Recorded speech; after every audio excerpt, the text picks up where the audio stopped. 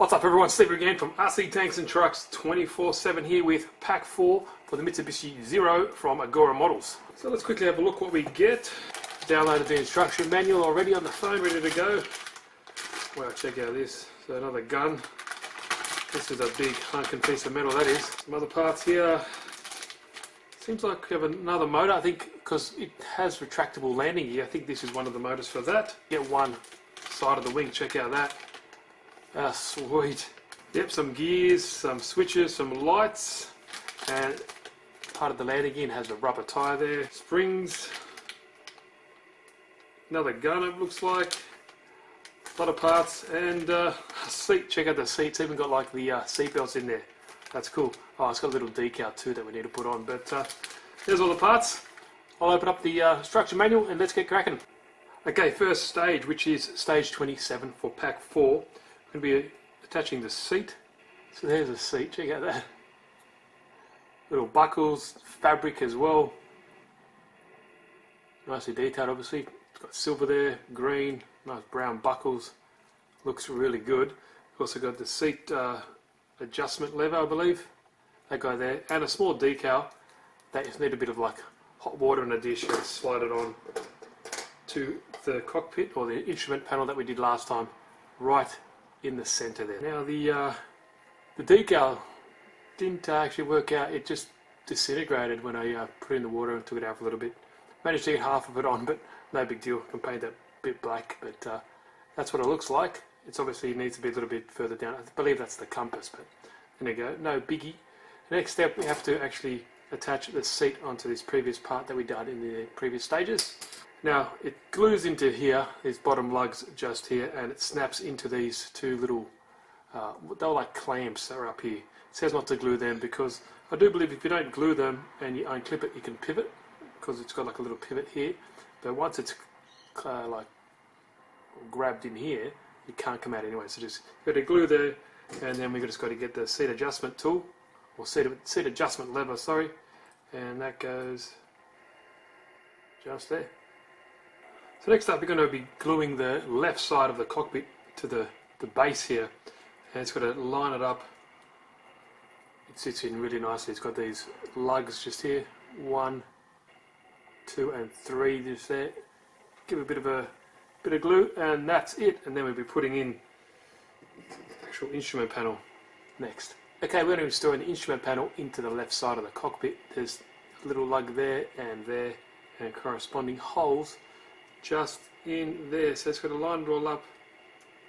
A little bit tight in there. I removed the guns off the um, off their mounts just so it's easy for me to slide this in there.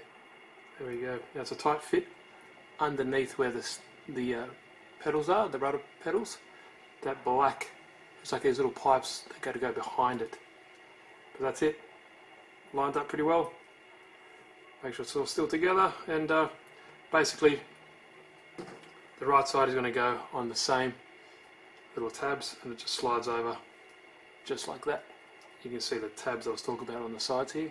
One, two, and corresponding ones there and there. That's it. And that is what you should be ended up with. Nice. I can put these guns back down now. It's easier to put that instrument panel in there, but they're easy to fix. But now wait till that dries. So that's what you should be left up with. Left and right side, instrument panels in, all glued up. Now the last part for this particular section, we're going to be gluing on the seat or the seat back and it's just one, two, three, four that you need to super glue on. Slide it in there and uh, that should be all locked and loaded. Let the glue dry because coming up, there we go, coming up we've got to route the wires through, got these little channels for the wires to route through, but I'll let that dry. And that is that. Check out that. That's one uh, compact little uh, cockpit. There's an example, routed through, plugged up, left and right side. So here's the left side. All we do, feed it through the footwell, bring it up here, and just plug these in, and that's it. Push them in nice and firm. There we go kind of like a little click, they know they're in there because you don't want to be pulling all this in and then find out it didn't work. But next up, we got this like I think it's it's called a partition wall, but that's from the previous stage, uh, or sorry, previous pack. You're gonna attach it here. It's a little bit tricky. Got to line up these little lugs here on the machine gun to the holes inside this partition wall here, just there and there. And obviously, not going to be gluing this, it's going to be screwing it. So nice, just here, there, and there and there. And the screws are provided from, I think, stage 19. Sweet, that's how it looks. Firmly secured there. And then you got the oil tank, and that just press fits into these little lugs. No glue, just says press fit. So push, and there we go. Oil tank, and then all we need to do is attach. This is the engine mount. Just says to glue that bad boy in. One, two, three, four lugs. And that is it for that particular stage. So stage 27 is all completed. Check out that beauty. Looks stunning. But let's move that to the side because now we are doing stage 28 and that is left main landing gear base. Now check out some of the details and intricacies in this particular set. Look at those gears. So a tiny bearing in there as well. That's crazy. Some um, ABS resin parts and majority of plastic. But uh, yeah, this set is, is amazing. A lot of detail in this one. Even the little metal uh, brackets in there as well. Crazy. So the first step here is getting that little orange gear onto the shaft for the shock absorber. So that is the shock absorber and then the other side we're going to get after that put on the little bearing. And these, nothing gets glued here. Um, obviously everything's going to be rotating and moving. So I'll just do these steps and I'll show it looks. Quick note, that gear hasn't got a perfect circle in there. It's got like a little notch and that mates up to the shock absorber shaft as well. So just bear that in mind. So it kind of locks it in. Now check out how small that little bearing is. just Be careful pushing that on there. Make sure you're straight and true because you don't want to go off at an angle. You might want to snap it off. But uh, there we go. This piece just sits in there. Moving on to the next step. Check out that little piece. That's called the leg position pointer. And that's going to, uh, I'm pretty sure, mesh up with that gear. This is very delicate this stage. Got to be careful. Need to use some tweezers apparently. Very, very full on. But uh, it's obviously just going to be sliding up and down this that kind of plastic piece. But it needs to be in the right position, I guess. That's going to run up against the gear and move the, uh, what I'm thinking, move the actual gear leg up and down. So this plastic piece is just a retainer in this orange gear cup mechanism. It's got like a pin in the back, so it can move up and down a certain certain way. That's it. See, pull it out. You can't go further than that. That's it. So assembly time, this shock absorber unit has to be in a horizontal position and this other piece has to be pushed down to the furthest it can go just like that. And then very delicately you just mate them all together and that's that section done just like that see?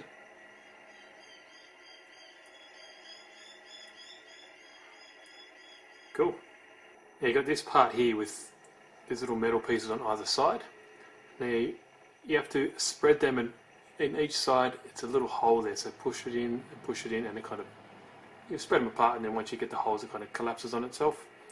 And then back to this side. Once it's in this side all, all you need to do is put these little L pieces into that channel and then lock it off with this piece here.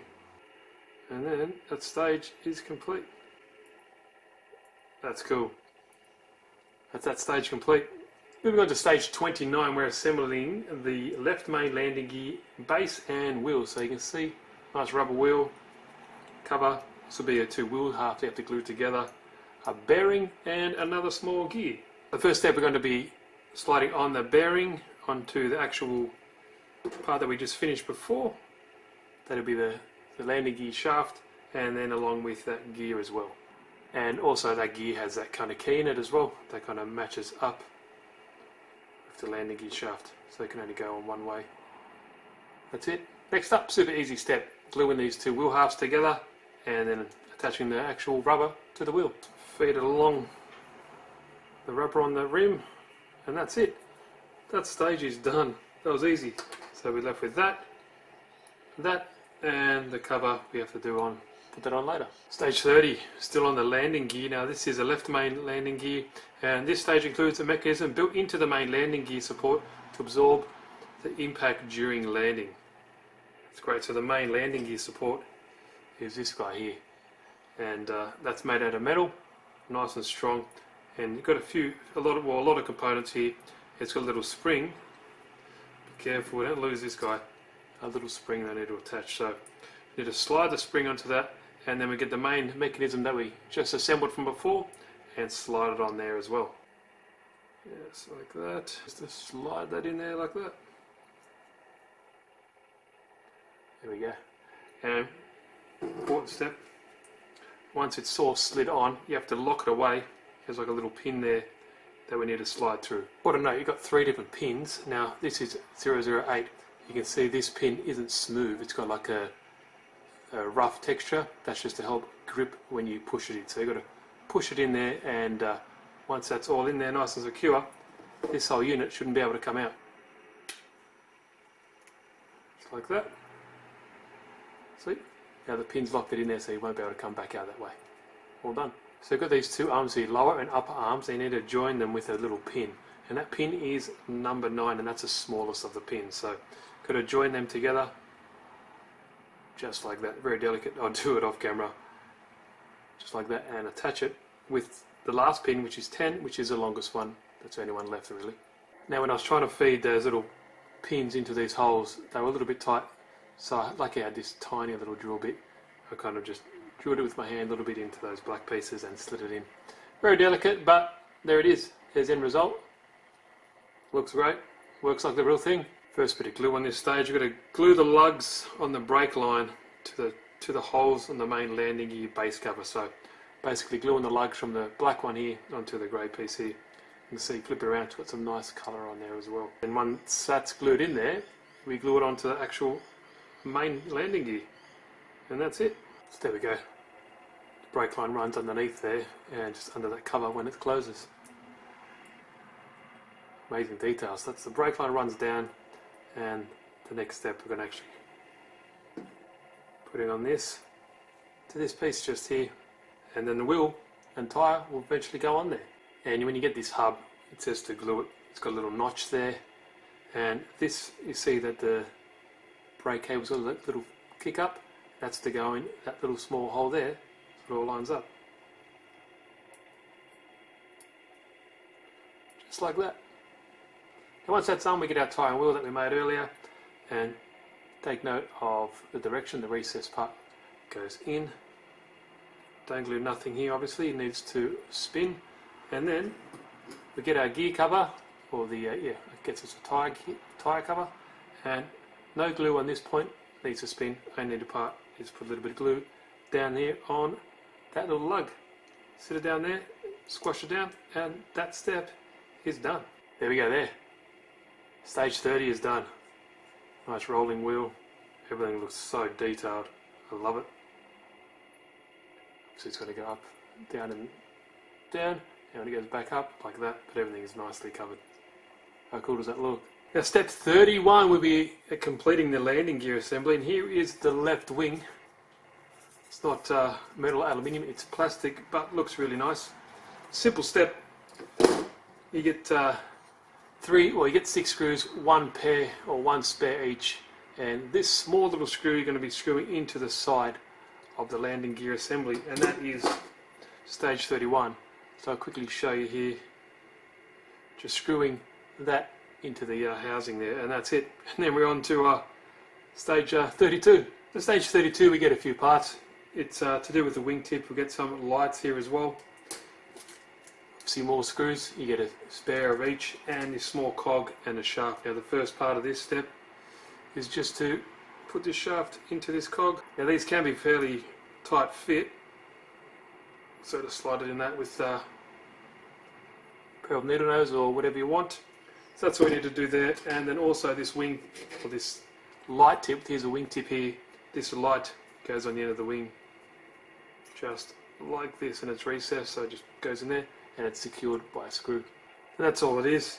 Secured by a uh, 07 screw, there's two screws There's a longer and a shorter ones, and the 07 are the shorter ones. But that's all it is for that step.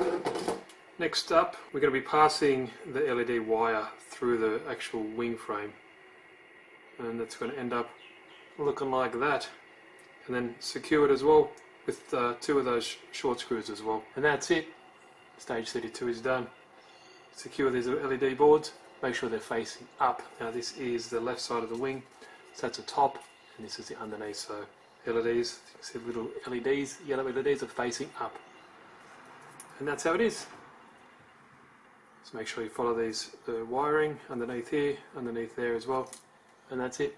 Now stage 34 we're going to be putting this little circle board in the wing itself, an LED um, and also we have the cannon here so the LED is going to go into this into this cannon. It's got to make sure we, we've got to bend this at a 90 degree angle to fit in the housing. And this circle board just goes in the wing just like that. So we have to flip it around and it goes just in there. Pretty easy. You can see with the LED you have to fit it into the housing of the, the cannon and that's it. You have to just bend it at a 90 degree angle so it can actually fit into the housing pretty easy I'll get that out we're just having a bit of a crazy going on there, but uh, I'll fit it in there and I'll show you how it looks. There's that little small circle board. You've got these little switches there as well, so our tiny little switches. So that's secured with uh, number four screws. Here is a cannon. There is a little LED in there, and all this goes in the wing. Got this little, a little peg there. Line it up, and that's it. Line it up down there. Push it down. This side's got a pressure pressure fit and then all we need to do is secure it with the same screw, number 4 screw, and that is it. Looking good so far. A lot of, lot of fiddly bits in here, but pretty enjoyable. And, uh, feed that cable down there, out of the way. I'll secure it with the screw, and that's that stage done. So stage 34, we're going to be doing the landing gear and the motor itself. So here is the landing gear motor. Pretty sweet little thing, and it comes with a little cog, so that's all you get with stage 34. But what you need to do, you get your previously built landing gear, this nice little unit, and that actually is going to go in the wing itself. Okay, so you get your whole landing gear mechanism that you made before, and it sits in this channel just here. If it's not fitting well, just make sure this bearing is pushed back as far, like you know, as far as it can go, because then it'll sit in its own little channel there. And you'll see it's got like this little cam just there. So when it retracts, you know, opens and closes, those little switches know when to turn it on or off. That's all it is. And you lock it away with uh, number three screw there, the shorter one, and number four screw at the back, and that's it. Now next up on that stage, you're going to get this little cog here and push it on just there. That's it. Okay, now with the motor, you feed the wires down this same hole where the other two wires went, and this just simply fits into there pushes down there nicely and then you get the gear that we previously made in the other stage and that just sits in like that. It's going to be pushed down a little bit and make sure everything's nice and flush. Just like this. And then going to cap it off with this piece that kind of holds everything down. And there we go there four screws. Now these screws are from stage 32 and they are number 6 screws. There we go there.